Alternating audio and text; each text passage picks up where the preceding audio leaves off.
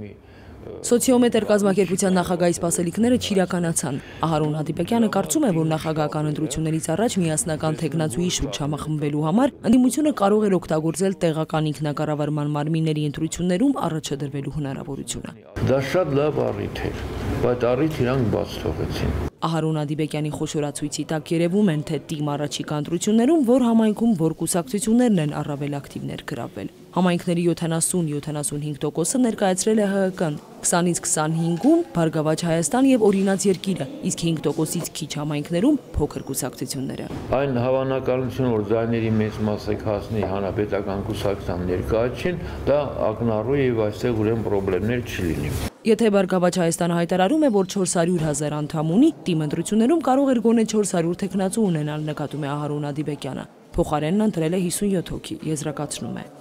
Այդ կուսակցությունը որպես կառույց դեռ այնքան չի կայացել, ունենա այդ կազմակերպչական ռեսուրսը, որտեղ ով է հաղթում,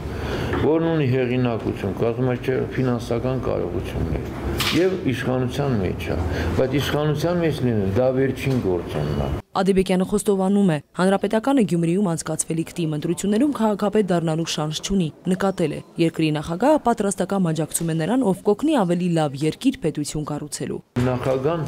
իրեն վերադասում է վերկուսակցական դիրքի վրա։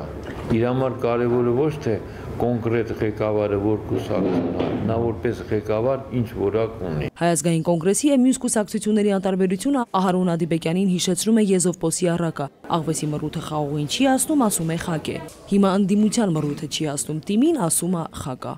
Գեղանուշ Աբրահամյան, ժամը լրատվական։